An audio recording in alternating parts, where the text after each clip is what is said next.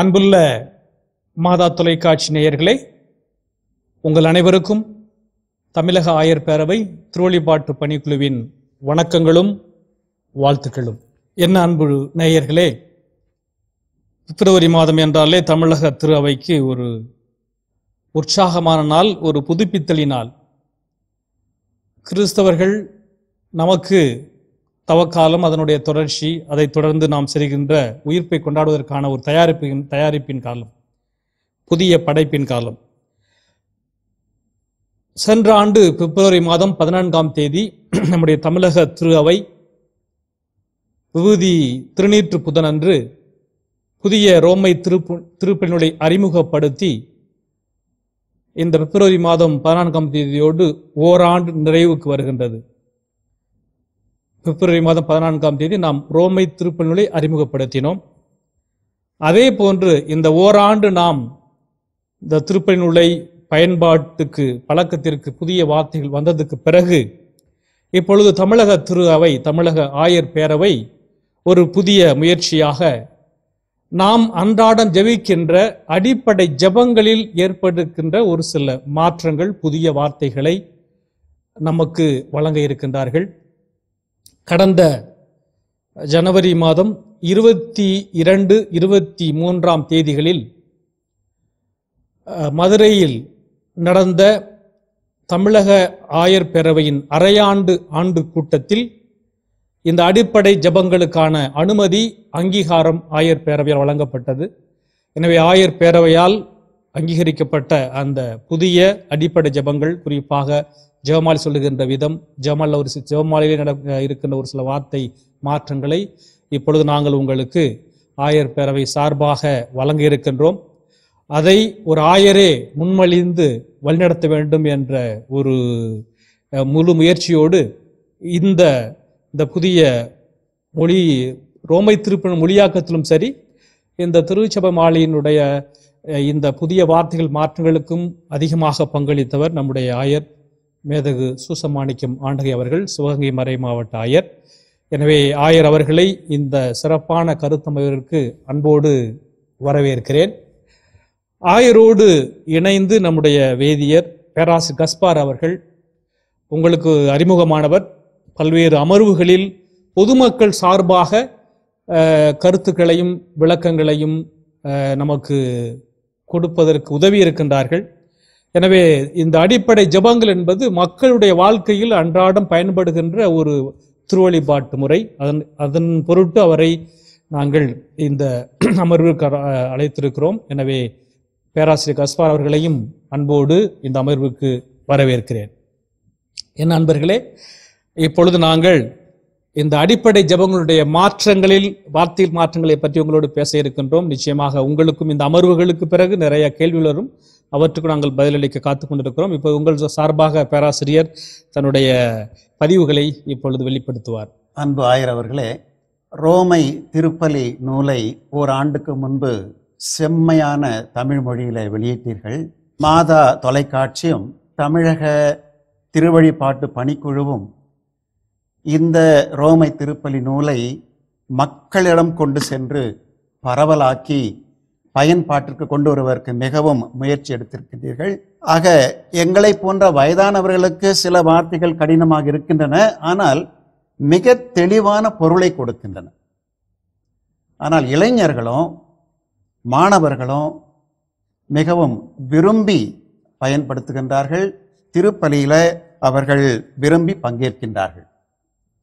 அதே வேளையில் திருப்பலி அருளடையாளங்கள் இவற்றோடு சேர்ந்து பொதுநராகிய எங்களுக்கு அன்றாட ஜெபங்கள்.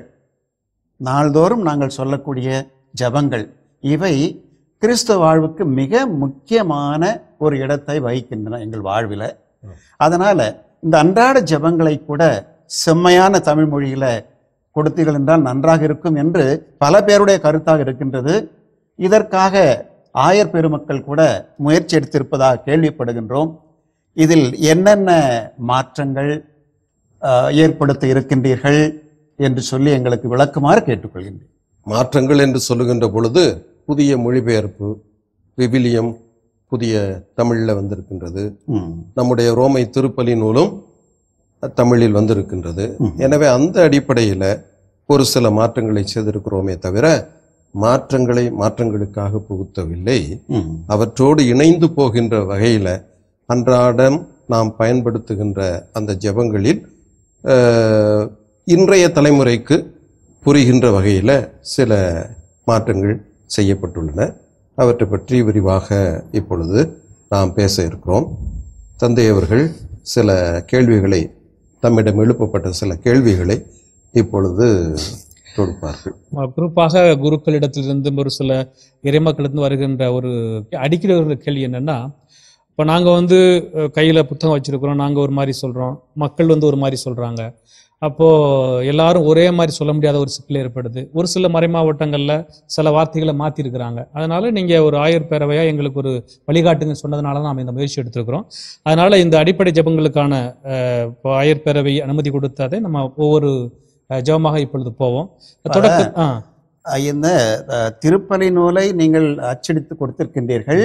எல்லா அருள் பணியாளர்களும் பயன்படுத்துகின்றார்கள். மாற்றம் அதிகம் இதுவும் ஏற்பட காரணமில்லை வாய்ப்பில்லை.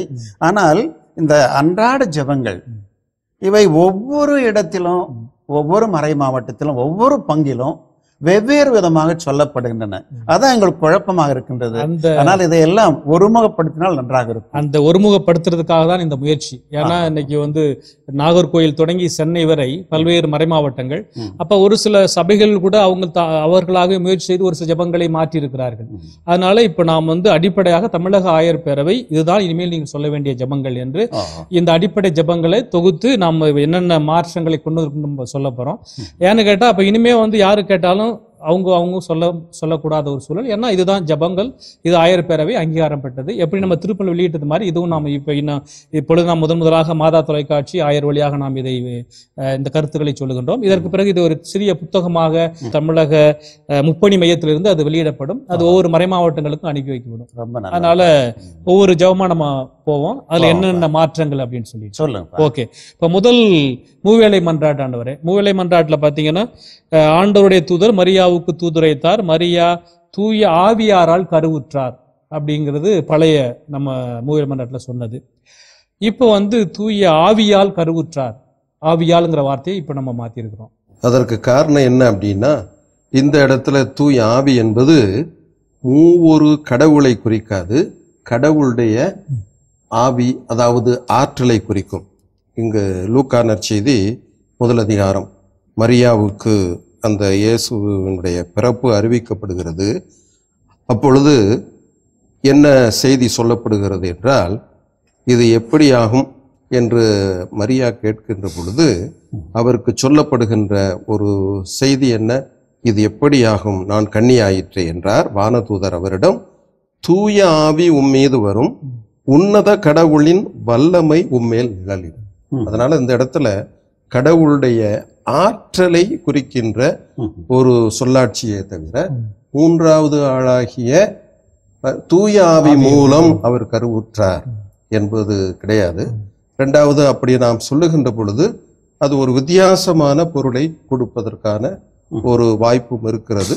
எனவே அதை தெளிவுபடுத்துவதற்காக தூய ஆவியால் கருவுற்று என்று சொல்லப்படுகிறது. இதுதான் விவிலியத்தினுடைய பின்னணி என்பதையும் நாம் புரிந்து கொள்ள வேண்டும். ஆவியாராகி என்று சொல்லப்படுது ஆலை குறிக்கின்றது. இது ஆற்றலுங்கிறதுனால நம்ம தூய ஆவியின் ஆவியால் கருவுத்தாருன்னு சொல்றோம். அடுத்தது இதோ ஆண்டருடைய அடிமை உம் சொற்படியே எனக்கு நிகழட்டும். இப்போ வந்து நம்ம உம் சேர்த்திருக்கோம். இதுக்கு முன்னாடி பிறந்த பழசுல நம்ம என்ன என்ன சொல்லிட்டு இருந்தோம்? உமது உமது உமதுங்கிற வார்த்தையை வார்த்தையின்படி எனக்கு. ஆகட்டும் அப்படின்னு சொன்னாங்க.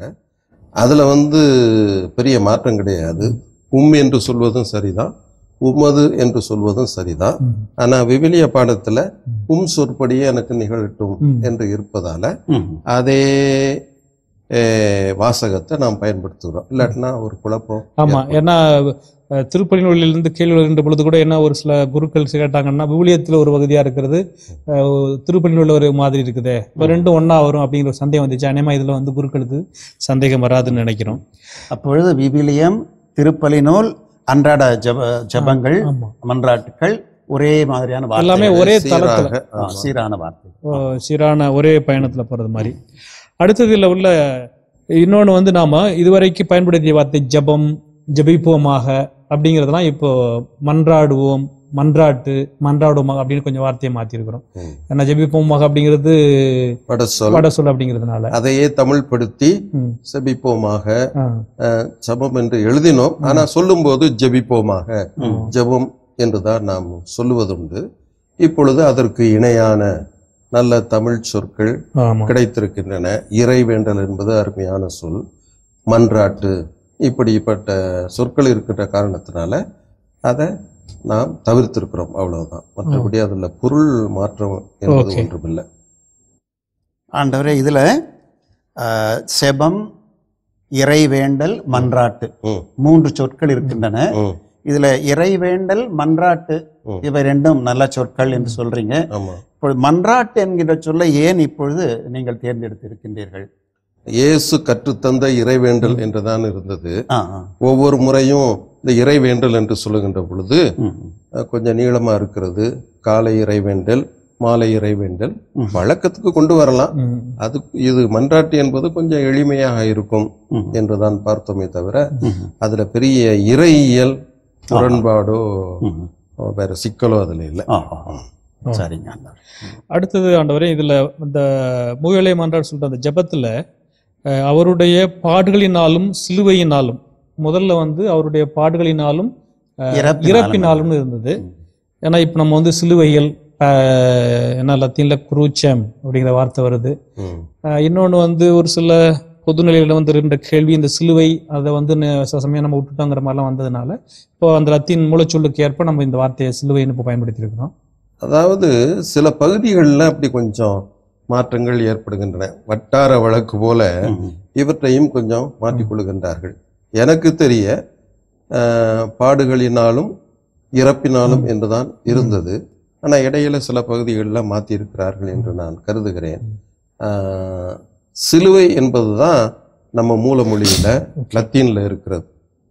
ஆனா அதனுடைய உட்பொருள் என்ன அப்படின்னா இறப்பு. சிலுவை இறப்பு சிலுவை சிலுவை மரணம் என்று சொல்லுகின்றோம்.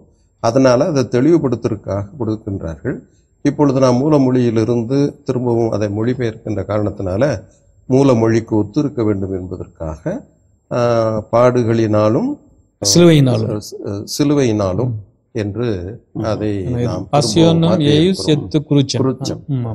ஆண்டவர் நான் கூட புது நன்மை உறுதிப்பூசல் பெறுவதற்கு மறைக்கல்வி கற்றப்ப நல்ல ஞாபகம் இருக்குது.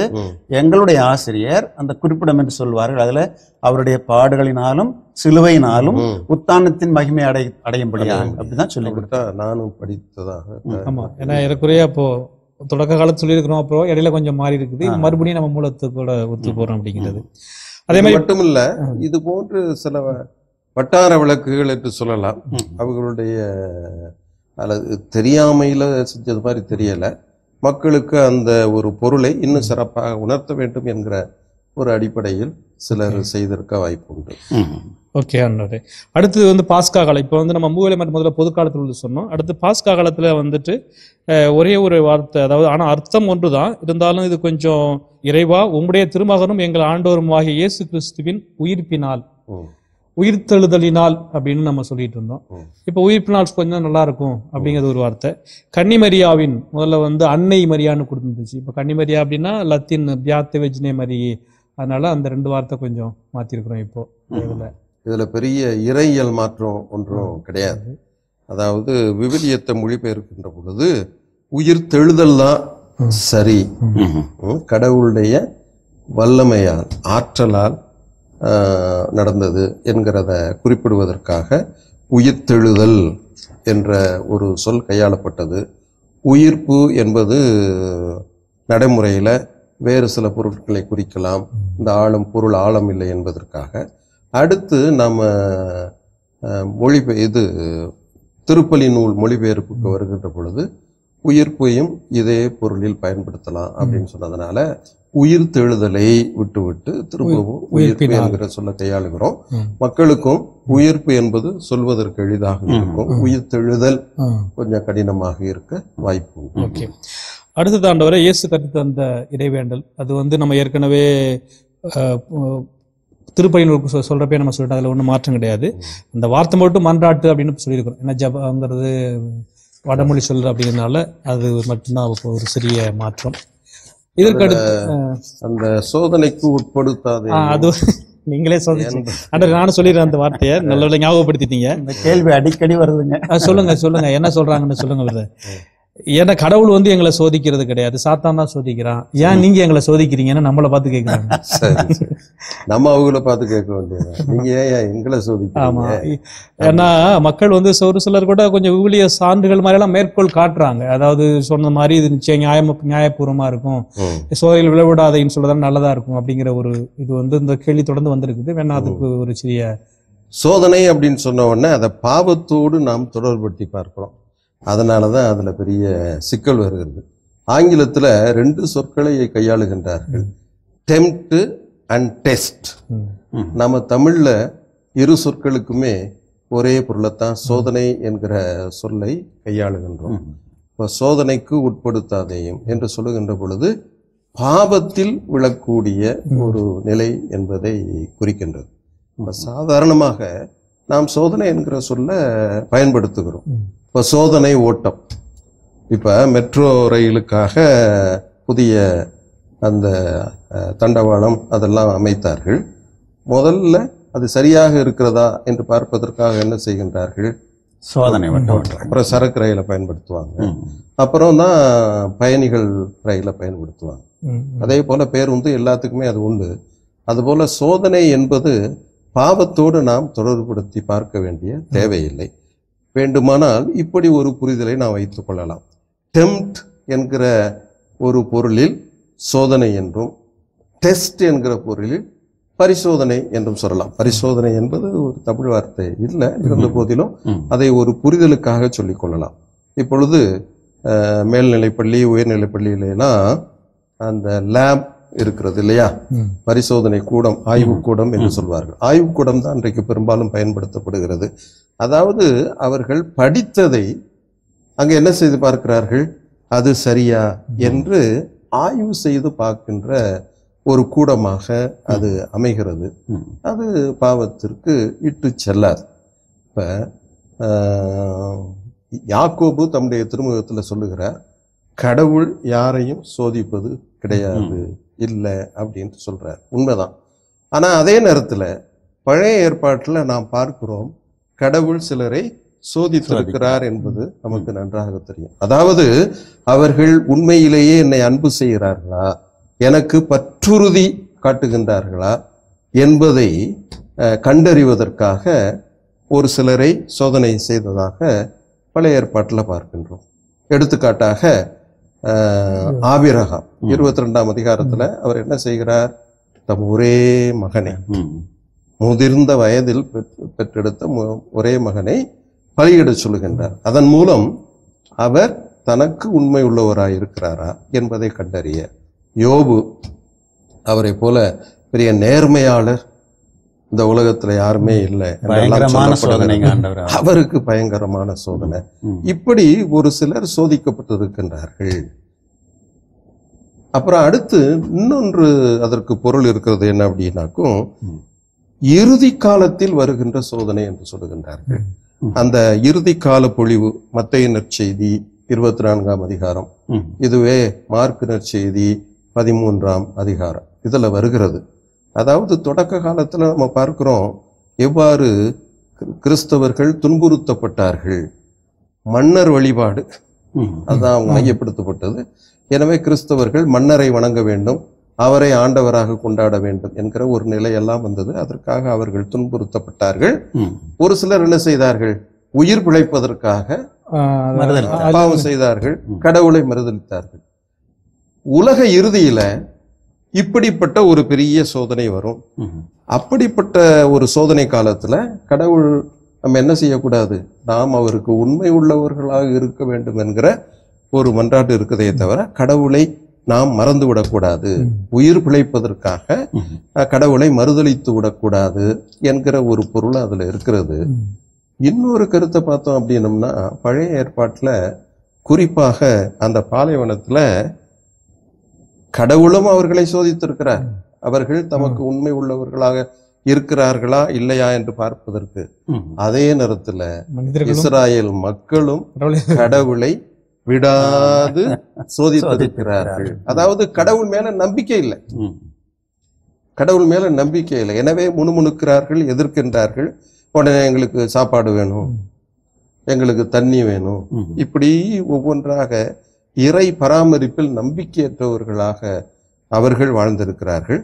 அப்படிப்பட்ட ஒரு நிலைக்கு ஆண்டவரே எங்களை உள்ளாக்காதையும் என்று சொல்லுகிற ஜெபம்தான் அடிப்படையில அதற்கு அடுத்து வருகின்ற அந்த தொடரோடு. நாம் பொருத்தி பார்க்கின்ற பொழுது எங்களை சோதனைக்கு உட்படுத்தாதேயும்.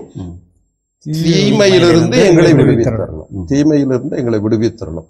எனவே இப்படிப்பட்ட பாவ சோதனையில நாங்கள் விழுந்து விடா வண்ணம் உமக்கு உண்மையுள்ளவர்களாக இருக்க உமத இறை அருளை தாரும் என்ற ஒரு அடிப்படையான ஜபந்தான் அதில் இருக்கிறதே தவிர கடவுள் அவர்களை வேண்டுமென்றே சோதனைக்கு உட்படுத்துகிறார் அவரிடமிருந்து பிரிந்து செல்வதற்கான ஒரு வாய்ப்பை உருவாக்குகிறார் என்று அதை நாம் புரிந்து கொள்ளக்கூடாது.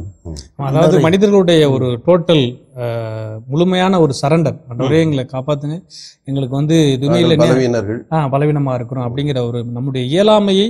கடவுள்கிட்ட முழுமையாக வெளிப்படுத்துறதுக்கான ஒரு வார்த்தையாக கூட நம்ம புரிந்து கொள்ளலாம். ஏன்னா இஸ்ராயல் மக்கள் கடவுளை முழுமையாக நம்பவில்லை. ஒரு விரக்தி நிலையில் தான் இருந்தார்கள். திரும்பவும் போய்விடலாம் எகிப்திற்கு என்ற ஒரு மனநிலையில் இருந்தார்கள். அதன் மூலம் கடவுளை அவர்கள் சோதித்தார்கள். அத்தகைய ஒரு நிலைக்கு கிறிஸ்தவர்களாகிய நாங்கள். இப்போதும் சரி இறுதி காலத்துல எப்போதுமே உட்பட்டு விடக்கூடாது என்கிற ஒரு உட்கிடக்கையின் ஒரு பிரதிபலிப்பாக வேண்டலாக கடவுளுடைய துணையை. எதிர்பார்க்கின்ற ஒன்றாகத்தான் அதை புரிந்து கொள்ள. ஓகே அடுத்தது பிரதர் நீங்க ஏற்கனவே கேட்டது மாதிரி இப்போ தூதுரை மன்றாட் ஏன்னா இந்த அருள் ஜபம் நம்ம சொல்றது போல மங்கள வார்த்தை ஜபம்னு சொன்னோம். அப்புறம் அருள் இந்த ஜபம்னு சொன்னோம். இப்போ வந்து தூதுரை மன்றாட்டு இந்த வார்த்தை தூதுரைத்தார். பெயரையே மாத்துறோம் மாற்றி ஆமா. மாறி ஆமா. முன்னே மங்கள வார்த்தை ஜெபம் சொன்னோம். ஆமா. அதனால இதுல கூட பாத்தீங்கன்னா என்ன ஒரு சில இடங்கள்ல ஒரு பிரச்சனைகள் வருது இல்லையா? சில இடங்கள்ல அருள் இந்த மரியங்கிறாங்க ம். சில இடங்கள்ல அருள்மிக பெற்றவரே அப்படிங்கிறாங்க. அப்புறம் பெண்களுக்குள் பெண்களுள் நம்ம பெண்களுக்குள்னு இருந்தது இப்ப பெண்களுள்னு மாத்தி இருக்கிறோம் பேரு அந்த- பேரு பெற்றவர் சொல்றாங்க. அதே மாதிரி உடைய திருவயிற்றுக்கணியாக இயேசும் ஆசி பெற்றவரேன்னு இப்போ இருக்குது. ஆனா அதுலயும் அவங்க பேரு பெற்றவர் பேரு பெற்று மாத்தி சொல்றாங்க. அப்புறம் புனித மரியே முதல்ல தூய மரியன்னு சொன்னோம் இப்ப புனித மரியே. அதனால இந்த இதுதான் நம்ம ஏற்கனவே திருப்பணிகளோடு சேர்ந்து சொல்லியாச்சு. சரி ஒவ்வொன்றாக பார்ப்போம். இல்லையா? இதற்கும் பல கட்டங்களில விளக்கம் கொடுக்கப்பட்டிருக்கிறது. குறிப்பாக அருள் நிறைந்த மரியா அருள் மிக பெற்ற மரியா என்பது. இப்ப நம்ம தமிழில் இருக்கிற விவிலிய மொழிபெயர்ப்பானது மூல மொழியான கிரேக்கத்திலிருந்து அந்த புதிய ஏற்பாடு செய்யப்பட்டிருக்கிறது ஆமாங்க கிரேக்கத்துல. கெக்கரித்தோமனே என்கிற ஒரு சொல் தான் கையாளப்பட்டிருக்கிறது. அதற்கு பொருள் வந்து அருள் மிக பெற்றவர் தான் கடவுள் தான் அருள் நிறைந்தவர். நாம் எல்லாரும் மனிதர்களாகிய நாம் எல்லாரும் கடவுளிடமிருந்து அருளை பெறுகிறோம் அருளுக்கு மேல் அருளை பெறுகிறோம். என்று கூட பவுலடியார் சொல்லுவார் அப்படிப்பட்ட ஒரு நிலையில் மனிதர்களாகிய படைப்பாகிய நாம் எல்லாருமே மாதா தொட்டு ஆனால் புனித எரோனிமுஸ் இந்த விவிலியத்தை அவர் லத்தீன்ல மொழிபெயர்த்த போது அதைத்தான் உல்காத்தா பதிப்பு என்று சொல்லுகிறோம் மொழிபெயர்த்த போது. அவர் இங்கே ஒரு மாற்றத்தை கொண்டு வருகிறார். அருள்மிக பெற்றவரே என்கிற அந்த கிரேக்க சொல்லுக்கு அருள் நிறைந்தவரே என்கிற லத்தீன் சொல்லை பயன்படுத்துகின்றார். ஆவே மரியா கிராட்சியா பிளேனா. கிராட்சியா பிளேனானா அருள் நிறைந்தவர். இப்ப நாம் புதிய ஏற்பாட்டிலே விவிலியத்திலே அப்படியே இருக்கின்றது. அருள்மிக பெற்றவரே என்றுதான் இருக்கின்றது. ஆனால் அதை திருவழிபாட்டிலே பயன்படுத்துகின்ற பொழுது அதாவது வாசகத்துல பயன்படுத்துகின்ற பொழுது அந்த புதிய உல்காத்தா பதிப்பின் அடிப்படையில அதை ஒரு மாற்றம் செய்திருக்கிறோம். எல்லாத்துக்கும் தெரியும். முதல் வாசகமாக அதை வாசிக்கின்ற பொழுது எல்லாத்துக்கும் தெரியும். முதல் வாசகம் அல்லது நற்செய்தியாகும். அருள் நிறைந்தவரே என்றுதான் போட்டிருக்கின்றோம். இங்கு கூட நம்ம நற்செய்தியை கூர்ந்து வாசித்தோம் என்றால் அதற்கு கீழே ஒரு அடிக்குறிப்பு கொடுக்கப்பட்டிருக்கிறது. அருள் நிறைந்தவரே வாழ்க என்று உள்காத்தா என்னும் லத்தீன் மொழிபெயர்ப்பில் இருக்கிறது என்ற ஒரு குறிப்பு தெளிவாக இருக்கிறது. தனிப்பட்ட முறையில் அதை வாசிக்கின்ற பொழுது இதை பயன்படுத்தலாம். ஆனா வழிபாட்டில் வாசிக்கின்ற பொழுது இந்த சொல்லைத்தான். அருள் நிறைந்தவரே என்கிற ஒரு சொல்லாடலைத்தான் பயன்படுத்த வேண்டும் என்று திரு அவை சொல்லியிருக்கிறது. இதுல என்ன ஒரு ஆர்வ கோளாறு என்று கூட சொல்லலாம்.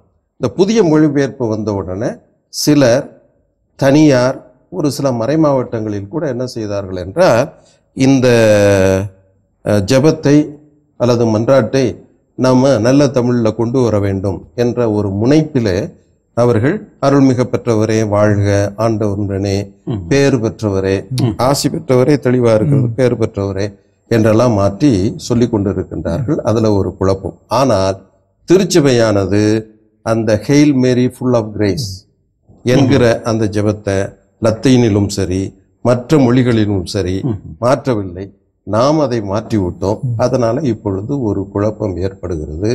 நாம் ஜெபங்களில் அன்றாட மன்றாட்டுகளிலே நாம் சொல்லுகின்ற பொழுது.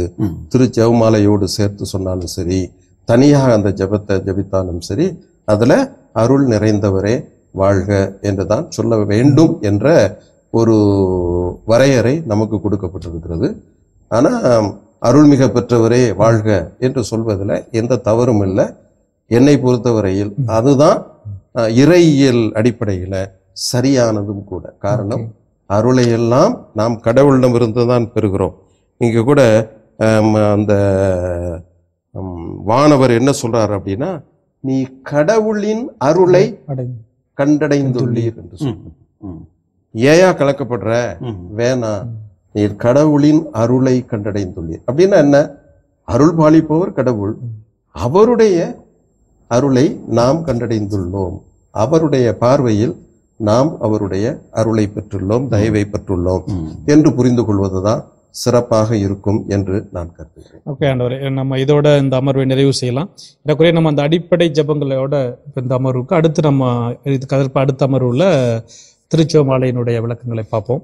அதனால் இந்த தொடக்க அமர்விலேயே நீங்கள் நம்முடைய அடிப்படை ஜெபங்களில் இருக்கின்ற இறையியல் விவிலியம் சார்ந்த பின்புலங்களை அருமையாக மக்களுக்கு புரிந்து எடுத்து வைத்திருக்கிறீர்கள்.